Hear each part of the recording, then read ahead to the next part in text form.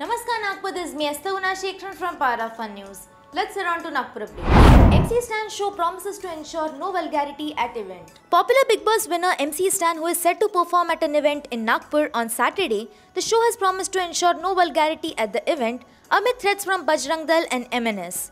The rapper has previously performed in cities like Mumbai, Hyderabad, Pune, and Bangalore, but was interrupted by Bajrang Dal protesters in Indore. To ensure this doesn't take place at the Nagpur concert as well, the organizers submitted a written promise to ensure no vulgarity in advance, informed the Nagpur Commissioner of Police Amitesh Kumar.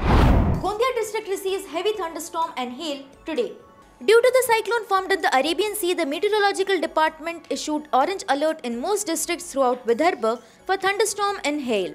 These unseasonal rains, thunderstorm, and hail showered in Gondia district today is proving to be a disaster for the farmers as most fields are flooded and the crops are taking a hit due to the hail. Nana Patole demands audit into the work done for the G20. The preparations for the G20 meeting are being done on a large scale in the city with more than 200 crore rupees being spent on the C20 Inception Conference. The Maharashtra Congress State President Nana Patole demanded an audit into the work being done as part of these preparations.